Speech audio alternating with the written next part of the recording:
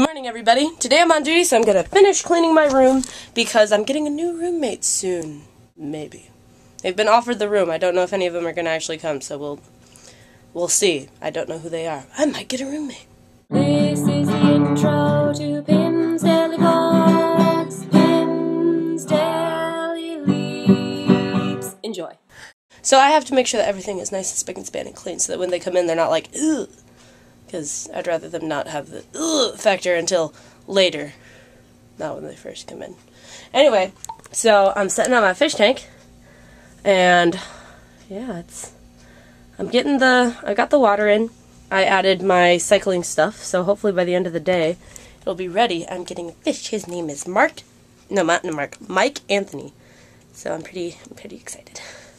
We'll see what happens. For now, I'm going to add these betta bulbs because I'm putting betta fish, so they should make plants, which would be good. So, this is my this is my recording of me putting in the bulbs. In a month, if they haven't grown, I get new ones. So here we go, betta bulbs going in the tank.